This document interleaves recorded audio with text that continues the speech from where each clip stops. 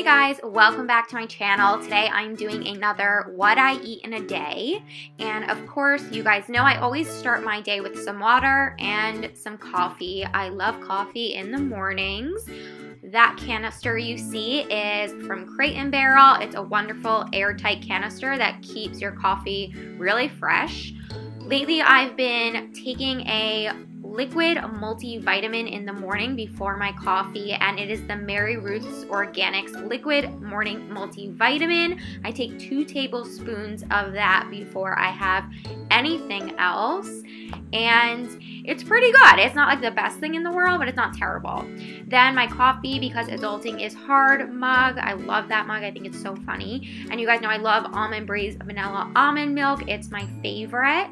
These are the vitamins I take in the morning. Usually I take those with or after my breakfast. And for breakfast today, I'm having avocado toast.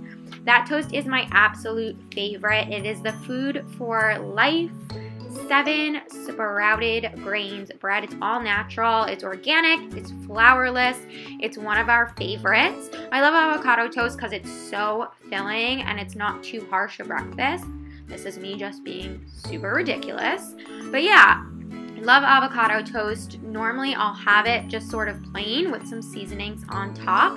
I'll also sprinkle on some iodized salt and it also has some other like sea vegetables uh, in it as well. And then on top of that, I'll sprinkle some nutritional yeast for just some added nutrients. And that's my breakfast. It's really simple, but it's definitely my go-to, definitely my favorite.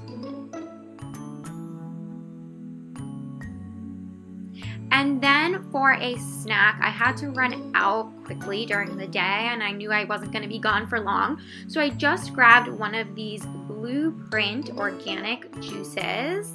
And this one had kale, apple, ginger. I mean, you see it has all these different fruits and vegetables in it as well as a banana. I love the Blueprint organic juices. They're so good. I got them from Whole Foods. And then for lunch, I decided to make myself a rather extravagant sandwich. I'm using the same bread that I used earlier and just putting some 365 brand, that's the Whole Foods store brand, vegan mayo on it. Absolutely love vegan mayo. And then some Annie's sweet and spicy barbecue sauce. It's not spicy at all, but it's really good.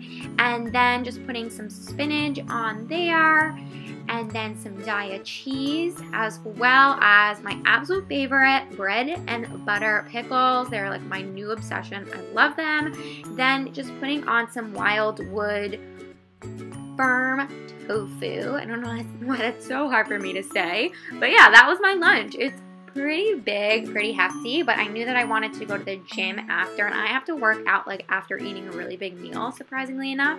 And then for dinner, Jeff and I decided that we wanted to do take in, so we got uh, food from our favorite Chinese restaurant nearby, and I think if you are vegan or vegetarian, Chinese food is such a great option. We got vegetable, like little spring rolls, we got some tofu and vegetables, and then in a funny turn of events, my first fortune cookie did not have a fortune in it, even, but luckily my second one did. anyway, that's my what I eat in a day video for today, guys. Thank you so much for watching. Don't forget to subscribe, give this video a big thumbs up if you liked it, and I will see you all in my next video. Bye, guys!